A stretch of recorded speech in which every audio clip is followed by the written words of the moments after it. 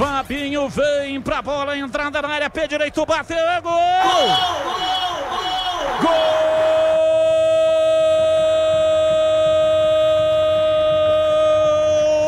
do Criciúma!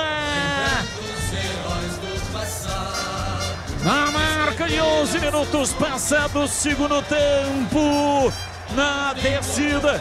Lançamento lá pela direita. Rodrigo lançou dentro da grande área, na entrada da pequena área. De pé direito, bateu firme, cruzando Fabinho.